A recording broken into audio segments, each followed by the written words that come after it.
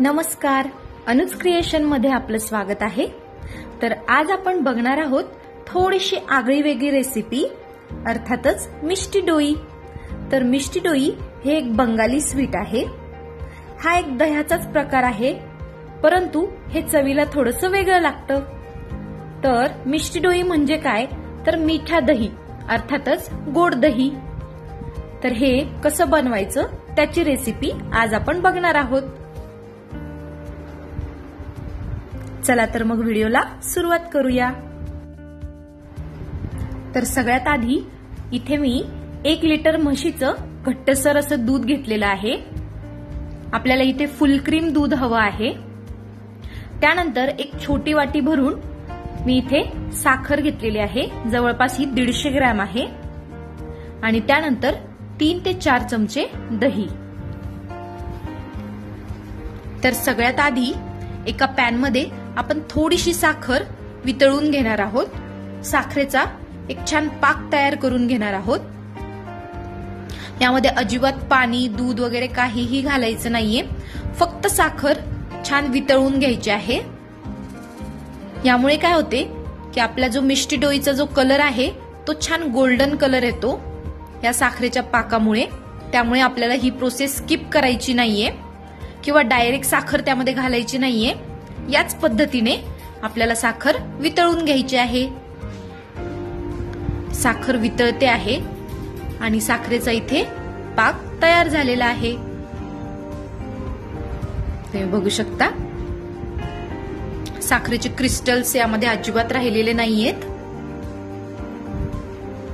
त्यानंतर सगळ्यात आधी आपल्याला थोडस दूध यामध्ये टाकून घ्यायचंय. अगदी लगेचच सर्व दूध यामध्ये टाकायचं नाहीये. थोडस दूध सुरुवातीला टाकून याला व्यवस्थित मिक्स करून घ्यायचंय. आणि त्यानंतर आपण गॅस कमी करायचा आहे आणि उरलेलं दूध यामध्ये घालून घ्यायचं आहे.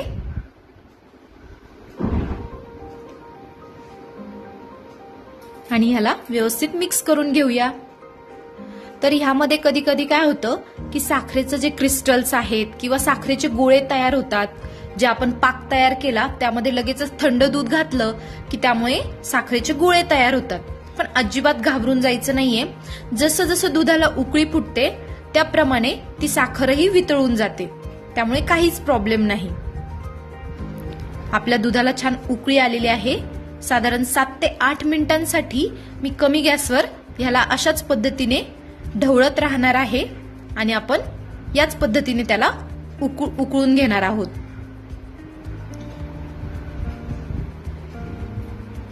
आणि त्यानंतर आपण जी उरलेली साखर होती ती यामध्ये घालून घेऊया.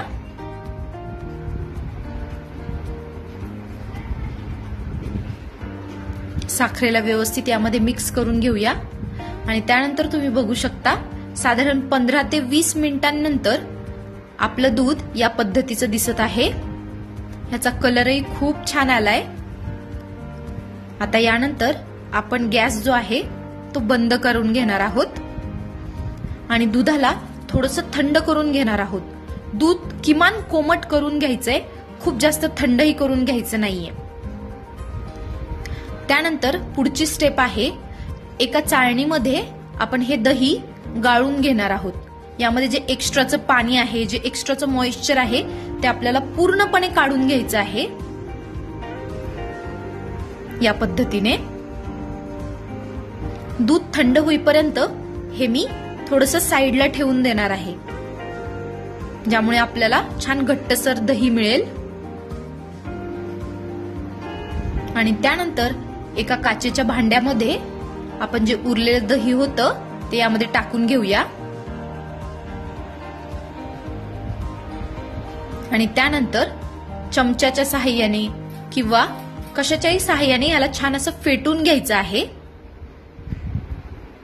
आणि त्यानंतर यामध्ये आपण जे कोमट झालेलं दूध होतं ते यामध्ये टाकून घेऊया. ह्याला व्यवस्थित मिक्स करून घेऊया. जेणेकरून दह्याचे जे गोळे आहेत ते यामध्ये उरणार नाही. दही आणि दूध व्यवस्थित असं मिक्स होईल. आणि त्यानंतर आपण ह्याला एका छोट्याशा छान मातीच्या भांड्यामध्ये मी यामध्ये लावून घेते आहे. माझ्याकडे मोठे मोठं मातीचं भांड नव्हतं. ऍक्च्युली तुमच्याकडे जर मातीचं भांडं असेल तर मी सजेस्ट करेल की फक्त आणि फक्त ह्याला मातीच्याच भांड्यामध्ये लावा. त्याने आपली जी मिष्टी आहे ती खूप छान होते. माझ्याकडे ते नसल्यामुळे मी याला एका छोट्याशा छान सुंदर अशा भांड्यामध्ये याला काढून घेतलंय. आणि जे उरलेलं आहे ते या काचेच्या बाउलमध्येच मी ठेवून तसंच मी याचं ह्याला दही लावून घेणार आहे.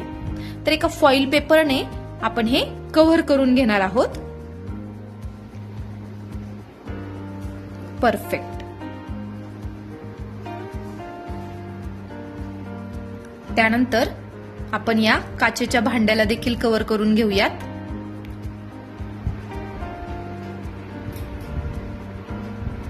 जर तुमच्याकडे अशा पद्धतीचा पेपर नसेल तर तुम्ही एखाद्या स्टीलच्या ताटाने असं झाकणही ठेवून देऊ शकता. काहीच हरकत नाही. तर आता हे साधारण सात ते आठ तासांसाठी मी बाजूला ठेवणार आहे.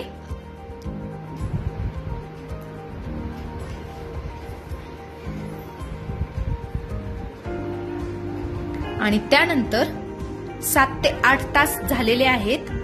तुम्ही बघू शकता आपली मिष्टी डोई इथे बनवून तयार आहे. मी याला साधारण रात्रभर एका गरम ठिकाणी ठेवलेलं होतं आणि त्यानंतर मी चार ते पाच तासांसाठी याला फ्रीजमध्ये ठेवलेलं होतं. त्यामुळे आपली जी मिष्टी डोई आहे ती खूप सुंदर तयार झाली आहे मातीच्या भांड्यामध्ये देखील तुम्ही बघू शकता. अप्रतिम अशी दिसते आणि चवीला तर खूपच छान लागते.